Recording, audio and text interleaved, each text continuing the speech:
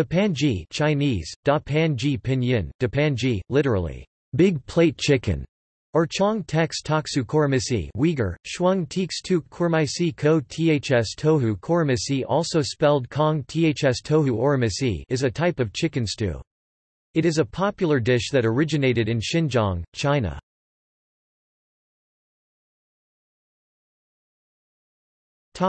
Etymology Dapanji means, big plate chicken, in Chinese. In its Uyghur name, Chong, Shuang Ko Kong means, big. Text Teeks Ths Ths means, platter. Taksu, Tuk Tohu Tohu means, chicken. Korimisi, Kurmaisi Korimisi Orimisi means, fried.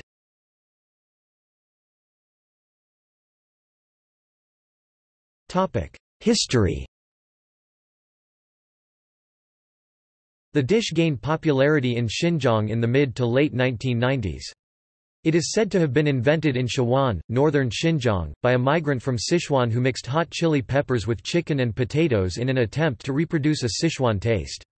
The dish was served on a big plate by restaurateurs along the Xinjiang highways as a quick fix for hungry truck drivers who often arrived at an odd time of the day.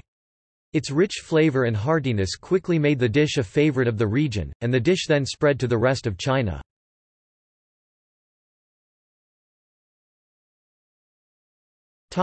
Ingredients and preparation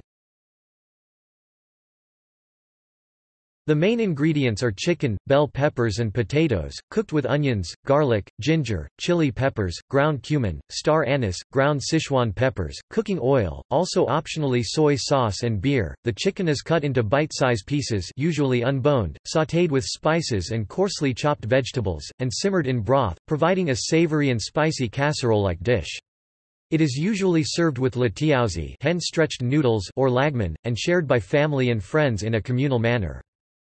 Other variations of the dish may be served with naan, nong bao da pan ji a staple bread widely consumed in Xinjiang, usually served baked or roasted in Xinjiang restaurants and other places. With the sauce, the bread becomes very soft and moist, producing a melt-in-the-mouth savory texture.